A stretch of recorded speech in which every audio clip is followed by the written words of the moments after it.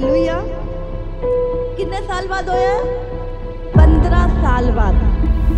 मेरा नाम मंगूराम है। मैं बल्लोवर पिंड का रहने वाला हूँ। परमेश्वर ने मेरे जीवन में बहुत बड़ा काम किया। मुझे मसीह में आए हुए तीन साल हुए। मैं जब परमेश्वर को नहीं जानता था, बहुत ज़्यादा नशे करता था। तुक्की फीम जर्दा, कोई नशा नहीं छोड़ता था। तो पहला तो परमेश्वर ने मेरी पहली गवाही, मेरे नशे छुड़वाए। उससे बाद परमेश्वर ने मुझे दो मंजिल की कोठी से ब्लस किया। उसके बाद परमेश्वर ने मुझे गाड़ी से ब्लस किया। अब मैं इतने डॉक्टरों के पास फिर लिया तो मेरे पास बच्चा नहीं था। पंद्रह साल को मेरी शादी को हो गए थे। तो डॉक्टर कहते हैं पैसा दवाई खाई, किसी में साल, किसी में बहुत पैसा लगा दिया।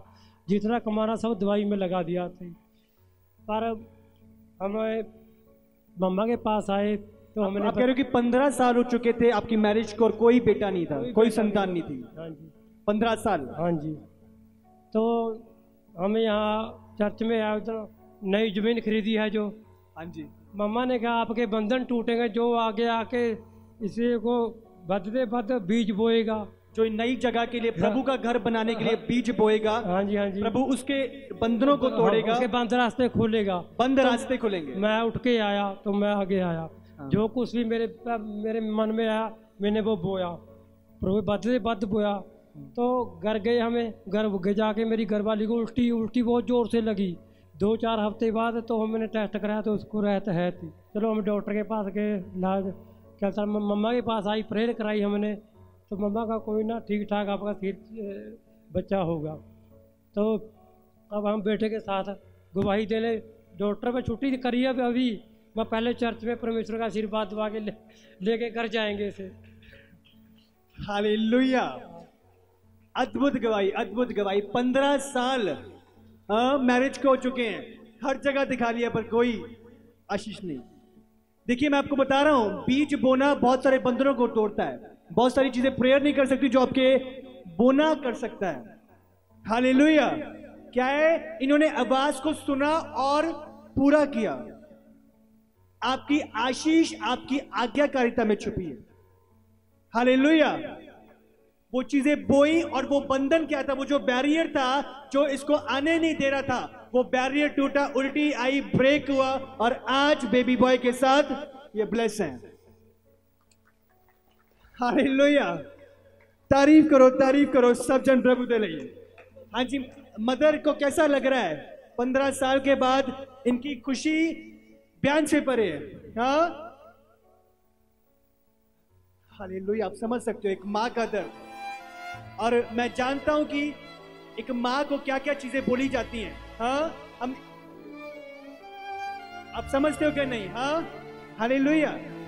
एक माँ समझ सकती है जब क्या क्या चीज़ें उसको सहन करनी पड़ती हैं। चाहे गल चाहे गलती उनकी नहीं है, पर फिर भी बहुत सारा समाज का सामना करना पड़ता है। तो वो समझ सकती है उस दर्द को। पर प्रभु विश्वास योग्य और पंद्रह साल के बाद आज हम प्रभु को महिमा देते हैं कि प्रभु ने इस बहन को रिस्टोर किया है और एक बार फिर इस बच्चे की आशीष के साथ ब्लेस करा है। हालेलुया। हालेलुया। कितने साल बाद होया? पंद्रह साल बाद। हालेलुया। की कहते सी डॉक्टर? हाँ? और डॉक्टर कहता ਸੀ ਦੋ ਬੱਚੇ ਖਰਾਬ ਹੋਏ ਡਾਕਟਰ ਕਹਿੰਦਾ ਸੀ ਹੋ ਹੋ ਨਹੀਂ ਸਕਦਾ ਤੇ ਪ੍ਰਭੂ ਨੇ 15 ਸਾਲ ਬਾਅਦ ਇਹਨੂੰ ਬਲੇਸਿੰਗ ਦਿੱਤੀ ਅਸੀਂ ਪਰਮੇਸ਼ਰ ਨੂੰ ਡੈਡੀਕੇਟ ਕਰਾਂਗੇ ਇਸ ਸਮੇਂ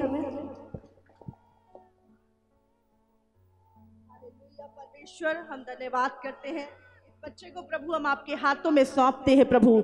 आपने दिया है प्रभु, आप ही को देते हैं परमेश्वर। आप ही इस बच्चे को बढ़ाएँ, अपनी बुद्धि और समझ दे परमेश्वर प्रभु जी। ओ खुदावन, प्रभु तेरे हाथों में सौंपते हैं, इसको लंबी उम्र दे प्रभु। हर श्राप और बंधन इसके ऊपर से टूटे यीशु के नाम से। इसकी हर ज़रूरत को आप पूरा करें प्रभु। धन्यवाद करते यीशु के नाम से मांगते हैं।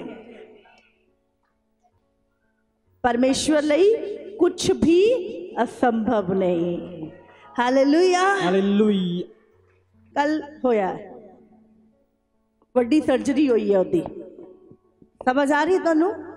ਹਸਪੀਟਲ ਤੋਂ ਵੱਡੀ ਸਰਜਰੀ ਦੇ ਨਾਲ ਬੱਚਾ ਹੋਇਆ ਤੇ ਇੱਥੇ ਹੈ ਇਹ। ਇਹ ਹੁੰਦਾ ਵਿਸ਼ਵਾਸ। ਹਾਲੇਲੂਇਆ